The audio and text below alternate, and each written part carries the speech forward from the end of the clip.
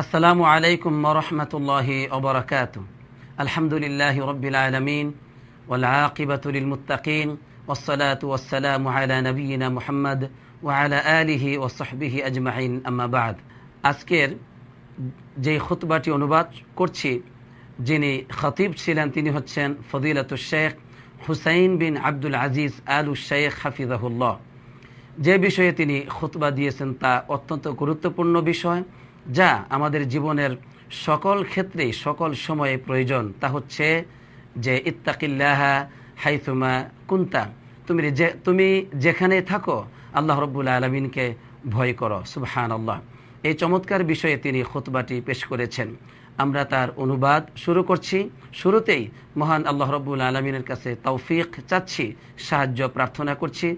তিনি যেন আমাদের এই আমলকে সহজ করে দেন এবং কল্যাণকর করেন, আর এই আমল যেন আমাদের সকলের জন্য আখেরাতে নাজাতের উসিলা হয়। এটাই প্রার্থনা করছি, এরপরে শুরু করছি।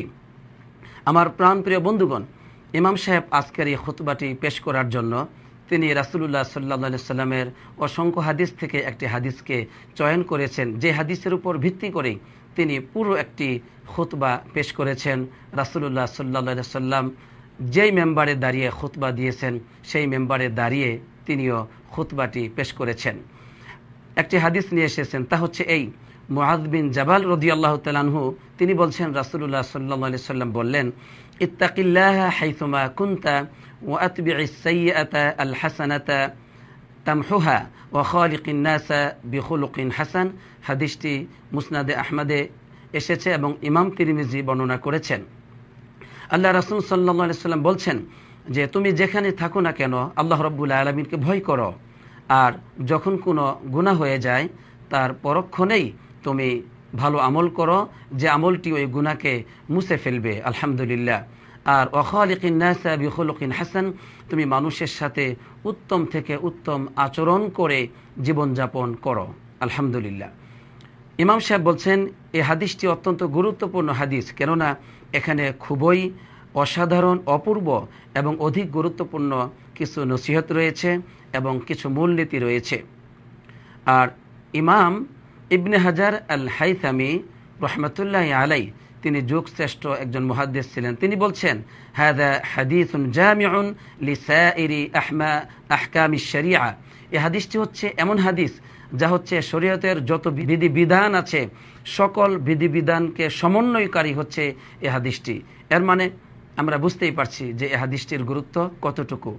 কেননা এ হাদিসের উপর আমল করলে পরে দুনিয়াতে, আখেরাতে আমরা ধন্য হতে পারব, সুখময়, সমৃদ্ধিময় জীবন অর্জন করতে পারব। আলহামদুলিল্লাহ।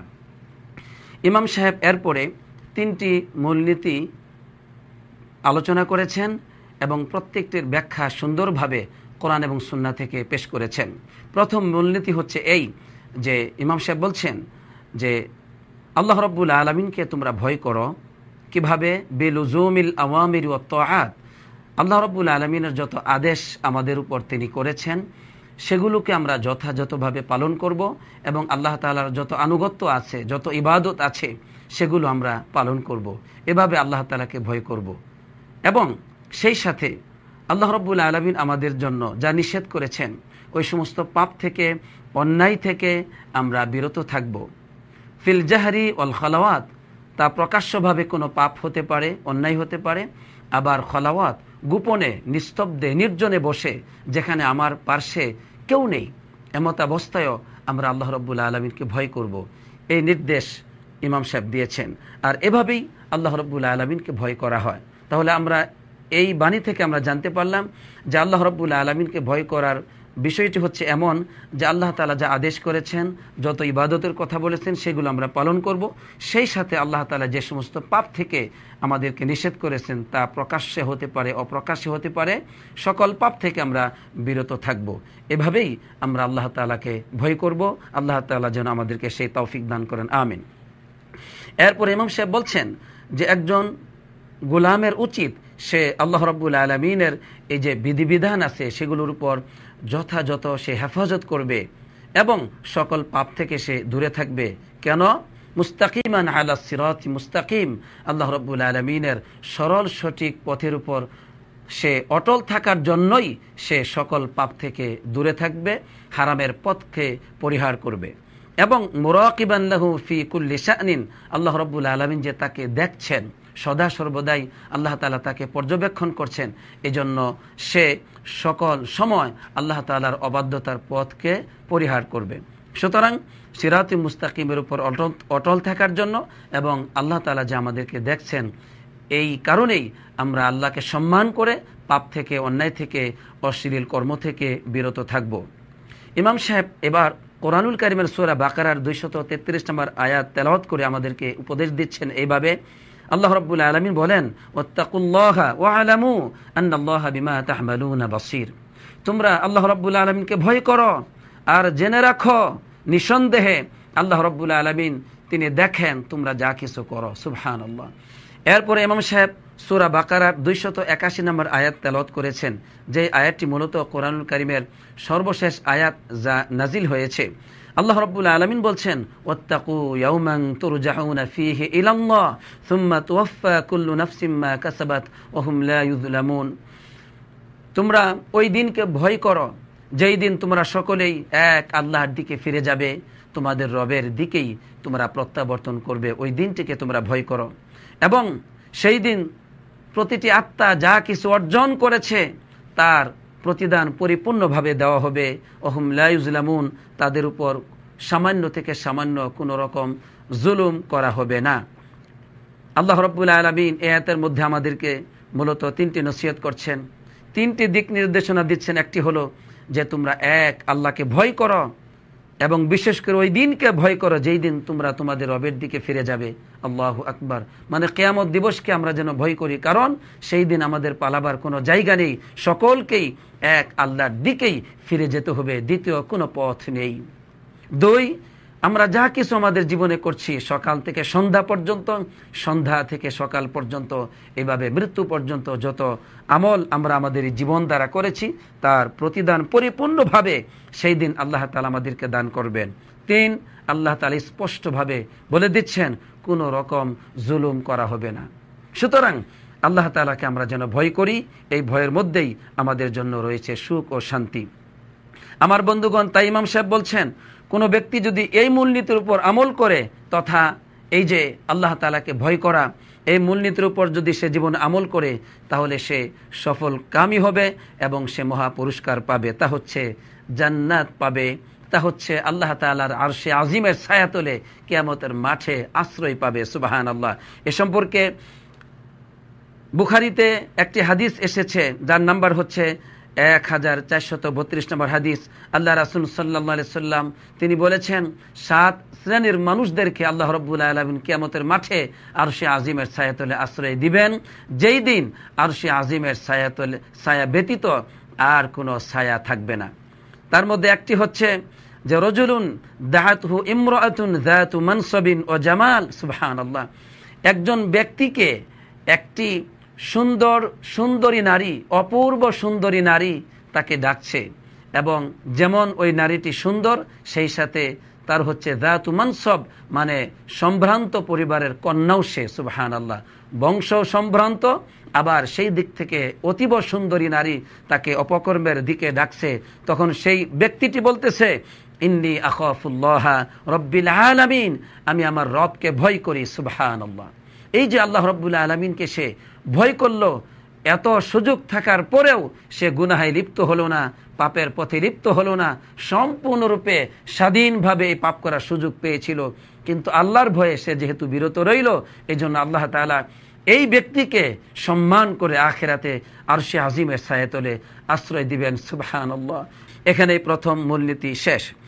দ্বিতীয় নম্বর মূলনীতি হাদিসের মধ্যে রয়েছে আল হাসানাতা জীবন চলতে গিয়ে যে গুণা হয়, তার সাথে সাথেই যেন আমরা ভালো আমল করি, যেই ভালো আমলটি, যেই সৎ আমলটি, ওই গুণাকে মুছে ফেলবে, আলহামদুলিল্লাহ। ইমাম সাহেব বলছেন যে, এখানে যে হাসানার কথা বলা হলো, ভালো কাজের কথা বলা হলো। এর অর্থ হচ্ছে, ইসমুন জামিউন লিকুল্লিমা ইউকরিবু ইলাল্লাহি আজ্জাওয়াজাল্লাহ এটা হচ্ছে এমন একটি নাম, যে ব্যাপক অর্থবোধক একটি নাম, যা একজন বান্দাকে আল্লাহ রব্বুল আলমিনা নিকটবর্তী করে। অর্থাৎ, আমি আপনি যে কোনো আমল করব, যে আমলটি আমাকে আপনাকে আল্লাহ নিকটবর্তী করে, সেটাই সেটাই হচ্ছে হাসানা, সেটাই হচ্ছে উত্তম আমল। এরপরে সম্মানিত খতিব সাহেব, তিনি কিছু সৎ আমল, কিছু ভালো আমলের কথা উল্লেখ করেছেন, যার দ্বারা আমাদের গুণাগুলো ক্ষমা হয়ে যাবে। তিনি বলছেন যে সবচাইতে অধিক সম্মানিত ও শ্রেষ্ঠতম সৎ আমল হচ্ছে একজন বান্দা আল্লাহ রব্বুল আলমিনের কাছে সত্যিকার অর্থে তবা করবে, ক্ষমা প্রার্থনা করবে, ফিরে যাবে। এর মাধ্যমে তার গুণা ক্ষমা হয়ে যাবে। দুই, আল্লাহ রব্বুল আলমিনের যে কালিমা আছে, লা ইলাহা ইল্লাল্লাহ এই কালিমাটি বেশি বেশি করে উচ্চারণ করা, বেশি বেশি করে পাঠ করা, এর দ্বারা গুণা ক্ষমা হয়ে যায়, এর দ্বারা অনেক সব হয়। এ সম্পর্কে মুসনাদে আহমদে একটি হাদিস এসেছে, যার নাম্বার হচ্ছে একুশ হাজার চারশত ছিয়াশি নম্বর হাদিস। আবুজর রদি আল্লাহ তালহু রাসুল্লাহ সাল্লাহ সাল্লামকে জিজ্ঞাসা করলেন, ইয়া রসুল আল্লাহ আপনি আমাকে উপদেশ দান করুন। তখন আল্লাহ রাসুল সাল্লাহ সাল্লাম তাকে বললেন আবুজর তুমি যখন কোনো অসৎ আমল করে ফেলো তারপরে তুমি ভালো আমল করো, সৎ আমল করো, যাতে করে তোমার গুণাটা মুছে ফেলে, ওই আমল দ্বারা তোমার গুণা ক্ষমা হয়ে যায়। তখন তিনি বললেন, ইয়া রসুল আল্লাহ লা ইলাহা ইল্লাল্লাহ আমিন আল হাসানাত। এই যে আমরা লা ইলাহা ইল্লাল্লাহ পাঠ করি, এটা কি সৎ আমলের অন্তর্ভুক্ত? তখন রাসুল্লাহ সাল্লাম তাকে বললেন যে, হিয়া আফদুল হাসানাত। এই লা ইলাহা ইল্লাল্লাহ পাঠ করা তো, এটা তো হচ্ছে সর্বোৎকৃষ্ট একটি সৎ আমল সুবহান আল্লাহ তিন নম্বর, ইমাম সাহেব বলছেন যে গুনাহ ক্ষমা হয়ে যায় ফিউল খৈরত ইউকাফিরুদ্দুনুব আসালিফাত যদি মানুষ কোনো ভালো আমল করে, যে কোনো সৎ আমল, সীমাবদ্ধতা এখানে নেই, যে কোনো সৎ আমল, আপনি আপনার মা বাবার সেবা করতে পারেন। আপনি আপনার স্ত্রী সন্তানদের সাথে উত্তম আচরণ করতে পারেন। গরিব দুঃখীদের পার্শ্বে আপনি দাঁড়াতে পারেন। কোরআন তেলাওয়াত করতে পারেন, আল্লাহ তালার অন্যান্য জিকির করতে পারেন যে কোনো সৎ আমল। এখানে ইমাম সাহেব কোনো সীমাবদ্ধতা আমাদেরকে দেননি। বলছেন যে কোনো ফেয়লুল খৈরত ভালো আমল, সেটার দ্বারা বান্দার গুণাক্ষমা হয়ে যায়। সুবাহান আল্লাহ চতুর্থ নম্বর উল্লেখ করলেন যে সলাৎ সলাৎ আদায় করলে পরে আমাদের গুণা ক্ষমা হয়ে যায়। সব তো পাবই, আবার গুণাগুলো ক্ষমা হয়ে যায়। ইমাম সাহেব সুরাহুদের একশত চোদ্দ নম্বর আয়াতটি তেলত করেছেন। আল্লাহ রব্বুল আলমিন বলছেন ও আকিমিসালাহারি অজুলাফামিনাল্লাইল কি চমৎকার বাণী আল্লাহ তালা আমাদেরকে দিয়েছেন। আল্লাহ তালা বলছেন, তুমি দিনের প্রথম ভাগে এবং শেষ ভাগে নামাজ আদায় করো, নামাজ প্রতিষ্ঠা করো এবং রাত্রির, রাত্রের কিছু অংশে নামাজ আদায় করো। তাহলে কি হবে? নিঃসন্দেহে হাসানাত সমস্ত সৈয়াদগুলোকে দূরীভূত করে দেয়। মানে সৎ আমল, সমস্ত যত পাপ আছে সেগুলোকে জীবন থেকে দূরীভূত করে দেয় সুবহান আল্লাহ এই জন্য নামাজ, আমরা ফরজ নামাজ আদায় করার সাথে সাথে নফল নামাজগুলো আমরা বেশি বেশি পড়ব। কেন? কারণ হচ্ছে এই নফল নামাজ দ্বারা আমার কিন্তু গুণা ক্ষমা হয় সুবহান আল্লাহ ফরজ তো আমরা পড়বই, সেই সাথে সাথে নফলের গুরুত্ব দিব, কিন্তু দুঃখের বিষয়, আমরা অসংখ্য মুসলমান অলসতা করি, আমরা ফরজ, অনেকে পড়ি, আলহামদুলিল্লাহ, কিন্তু দেখা যায় নফল আমরা একেবারে বাদ দিই, সুন্নাহ আমরা বাদ দিই, এমনটি করা উচিত নয়। ইমাম সাহেব আমাদেরকে কোরআনুল করিমের সুরা নিসার একত্রিশ নম্বর আয়াত তেলত করে নসিহত করছেন। আল্লাহ রব্বুল আলমিন বলছেন, ইং আনকুম তোমরা যদি কবিরা গুণা থেকে বিরত থাকো, যা থেকে তোমাদেরকে নিষেধ করা হয়েছে, তাহলে তোমাদের সৈয়াদগুলোকে পাপগুলোকে আমি আল্লাহ রব্বুল আলমিন ক্ষমা করে দিব, মুছে দিব সুবাহান আল্লাহ সুতরাং আমাদের সৎ আমল করার সাথে সাথে কবিরা গুণা করা যাবে না। কবিরা গুনার মধ্যে আমরা উদাহরণস্বরূপ বলতে পারি, আল্লাহর সাথে শিরিক করা কুফরি করা, নামাজ তরক করা, এরপরে মা বাবার অবাধ্য হওয়া এবং সেই সাথে মানুষকে হত্যা করা, মানুষের উপর জুলুম করা, মানুষের সম্পত্তিকে অন্যায়ভাবে লুণ্ঠন করা, এরকম অসংখ্য কবিরা গুণা আছে, যেগুলোর সাথে অসংখ্য মুসলমান প্রতিনিয়তই জড়িত আছে।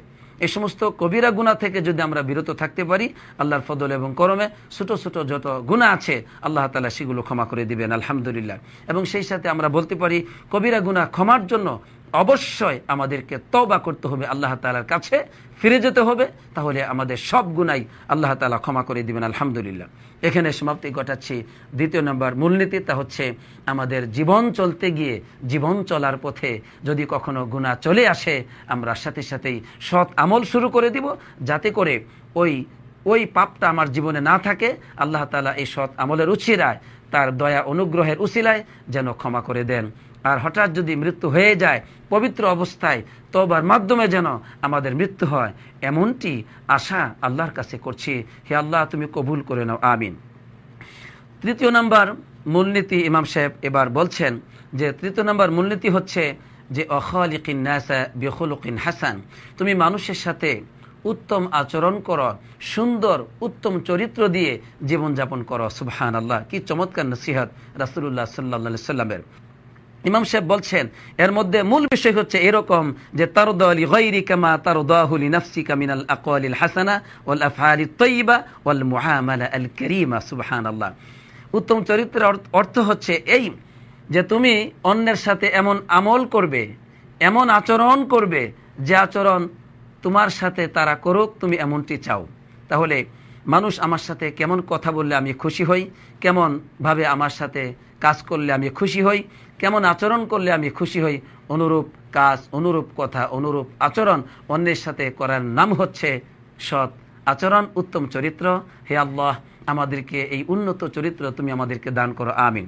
প্রিয় বন্ধুগণ, আমাদের বিশ্বনবী মোহাম্মদ সাল্লা সাল্লামের উন্নত চরিত্রের প্রশংসার সার্টিফিকেট আমাদের রব নিজেই দিয়েছেন। বলেছেন ও খুলকিন আভিম নিঃসন্দেহে আপনি তো উন্নত, অনুপম চরিত্রের অধিকারী সুবাহান আল্লাহ এজন্য মোহাম্মদ সাল্লা সাল্লাম আমাদের জীবনে এ মুমিনদের জীবনে উন্নত চরিত্রের এত গুরুত্ব দিয়েছেন। তিনি বলেছেন, আকমালুল মিনা ইমানান আহসানুহুম খুলক। ইমানদারদের মধ্যে সবচাইতে শ্রেষ্ঠ, পরিপূর্ণ ইমানদার তো সেই ব্যক্তি যে নাকি ইমানদারদের মধ্যে সবচাইতে উন্নত চরিত্রের সুবাহান আল্লাহ এই জন্য উন্নত চরিত্র হচ্ছে এত বেশি মর্যাদা। আল্লাহ রাসুল সাল্লা সাল্লাম তিনি এত বেশি মর্যাদা দিয়েছেন যে একজন মানুষ সারাদিন রোজা রাখে, সারা রাত সে নামাজ আদায় করে, নফল নামাজ আদায় করে। এই ব্যক্তি যে মর্যাদা পাবে, একজন মুমিন মানুষের সাথে উত্তম আচরণ করে, মানুষকে কষ্ট না দিয়ে সে মানুষের কল্যাণ কামনা করে সেই মর্যাদায় পৌঁছে যায়। আল্লাহ রাসুল সাল্লাহ সাল্লাম বলছেন, ইন্নাল মুমিনা ইন্নাল মুমিনা লাইউদরিকা বিহসনি খুলুকহি দরজাত ইমি আল কাইম হাদিসটা আবু দাউদে আসছে, চার হাজার সাতশত আটানব্বই নম্বর হাদিস। যে একজন মুমিন, তার উন্নত চরিত্র দিয়ে সে একজন রোজাদার মানে সবসময় রোজা রাখে এবং সবসময় সলাৎ আদায় করে, সারা রাত নামাজ আদায় করে। এই সারাদিন রোজা রাখার, এই সারা রাত নামাজ আদায় করে যে মর্যাদা পায়, এই মর্যাদা একজন মুমিন, সে উন্নত চরিত্র দিয়ে সে ওই মর্যাদা পেয়ে যায়। সুবাহান আল্লাহ বিহামদিহি সুবাহান আল্লাহ আজিম প্রিয় বন্ধুগণ, উন্নত চরিত্রের মর্যাদা এত ব্যাপকভাবে দিয়েছেন আমাদের নবী মোহাম্মদ সাল্লা সাল্লাম যে আল্লাহ রাসুল সাল্লা সাল্লাম বলে দিলেন যে, মানুষ সবচেয়েতে বেশি জান্নাতে প্রবেশ করবে তা হচ্ছে তাকুয়াল্লাহি ও হসনুল খলক। মানুষ আল্লাহ তালাকে ভয় করে এবং উন্নত চরিত্রের মাধ্যমে তারা সবচাইতে বেশি জান্নাতে প্রবেশ করবে। সুবাহান আল্লাহ হাদিসটি ইমাম তিরিমিজি বর্ণনা করেছেন, যার নাম্বার হচ্ছে দুই হাজার চা, দুই হাজার চার নম্বর হাদিস। ইমাম সাহেব প্রথম খুতবার শেষাংশে আমাদেরকে বলছেন, এই তিন, এই তিনটি মূলনীতি আলোচনা করার পরে যে, ফাহাক্কিকু রহিমাকমুল্লাহ হ্যাদিহিল উসুল আল উজমা হে আল্লাহর বান্দারা, তোমরা এই যে মূলনীতি তোমাদের কাছে বলা হলো, এই গুরুত্বপূর্ণ মূলনীতি, এই মূলনীতিগুলোর উপর তোমরা আমল করো। তোমাদের উপর আল্লাহ তালা দয়া করুক সুবহান আল্লাহ এবং এই মূলনীতিগুলোকে তোমরা শক্তভাবে আঁকড়ে ধরো, তাহলেই তোমরা সফল কামি হবে, মুক্তি পেয়ে তোমরা ধন্য হবে, দুনিয়াতেও ধন্য হবে, আখিরাতেও ধন্য হবে সুবহান আল্লাহ সুতরাং আমরা যেন আমাদের জীবনের সকল ক্ষেত্রেই এই মূলনীতির উপর আমল করতে পারি, আল্লাহ আমাদেরকে সেই তৌফিক দান করুক, আমিন। প্রিয় বন্ধুগণ, এবার ইমাম সাহেব দ্বিতীয় খুতবায় আমাদেরকে চমৎকার একটি নসিহত করেছেন যে আমাদের গুণাগুলো ক্ষমা হয়ে যাবে। এমন কিছু আমলের মধ্যে সবচেয়ে একটি অন্যতম শ্রেষ্ঠ আমল হচ্ছে আল এহসান আলান্নাস। মানুষের উপর এহসান করা সুবাহান আল্লাহ আমরা বিভিন্নভাবে মানুষের উপর এহসান করব। কেন?